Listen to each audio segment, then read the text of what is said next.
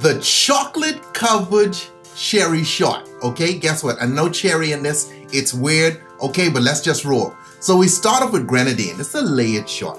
Okay, and we can really get in close on layering so you guys can understand how it works. What I'm really trying to do with this Kahlua here is just stop it from splashing really, to have it rest gently on the layer below it. You see that? Okay, and if you do that, and the density is right, it should lay. I'm doing the same thing with the Baileys. You can see it better. It just eases out and this layers beautifully on top. So you can play with liquors now. You could try this, test it, see if you can get your vodka to float on your orange juice. You can, by the way, just so, just so you know. Some of y'all gonna try that right now. Delicious short, fun short, super easy, good to go. I gotta do my final pose because I gotta somehow find my way into every video.